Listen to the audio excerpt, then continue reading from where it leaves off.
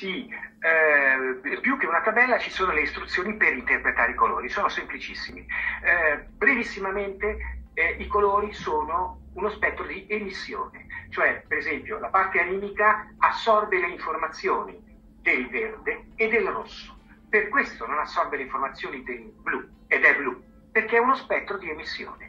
Chiaramente, anche con uno di quei giochini che ci sono al computer, ehm, basta con i, i, i, i cursori RGB, no? eh, eh, cambiare la grandezza del cursore e vedere che cosa succede se l'asse del tempo viene ammazzato, se viene ammazzato la, l'asse dell'energia o l'asse dello spazio, come cambiano i colori. E chiaramente te ti troverai una parte animica che è di un colore che non può essere. In, brevemente, quando cambiano i colori RGB, anima, mente e spirito, blu, verde, rosso, oppure in quel contesto anche anima poteva essere gialla, ma non dirò perché, perché sennò ci vuole troppo tempo.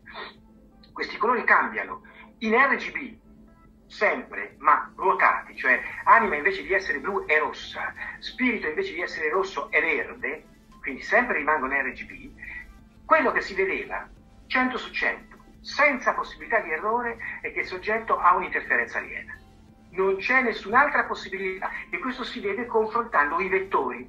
Se invece i colori RGB sono cambiati nei colori complementari, ciano, giallo e magenta, allora il soggetto non ha problemi di adduzione, ma ha problemi di tipo psicologico e, e allora i colori con questo trucco di che cosa ti manca, ti manca spazio, ti manca tempo, ti manca energia, dove manca? Nella parte spirituale, maschile, nella parte femminile, animica o nella parte mentale, ecco che ti comprendi esattamente a che punto stai del tuo percorso.